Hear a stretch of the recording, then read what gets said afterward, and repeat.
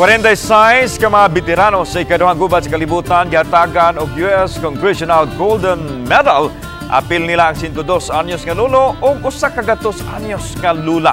Ano ang report? Sa mabong audio-video presentation, ipakita ang pagpakigbisog sa mga veteranong Pilipino atol sa ikaduhang gubat sa kalibutan uban ang kasundaluhang Amerikano.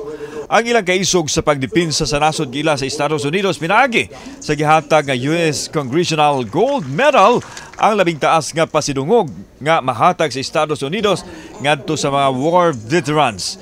Bisan og gold replica ang medalya apan dili matukngan og kantidad ang garbo sa mga veterano ug sa ilang pamilya. Sama na lang sa 102 anyos nga si Sotero Piñas Lebraro nga mibarog gyud gikan sa wheelchair aron dawaton ang medalya uban ang iyang pamilya. Samtang ang usa ka gatos nga panuigon nga si Lourdes Susol Sibalios naka-wheelchair man apan puno sa pahiyom ang Paraguay dihang gihatagan og recognition ang natampo atol sa World War II. Maglisod man sila sa paglitok og pagtabi apan ang kalipay nga ilang gibati maoy ni patigbabaw. Gipahigayon ang awarding ceremony sa Cebu City Hall building. Our country is deeply grateful for your heroism and our Filipino veteran, World War II veterans, which laid the foundation for the strong alliance between our two countries.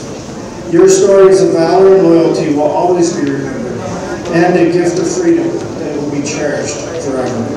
The award bestowed on you is the highest recognition that the U.S. government confers on any individual or institution for distinguished achievements and contributions and contributions to American society. Let this occasion be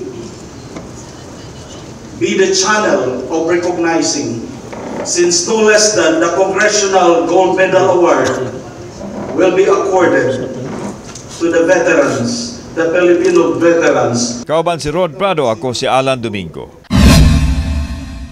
Balitag, Bisdak.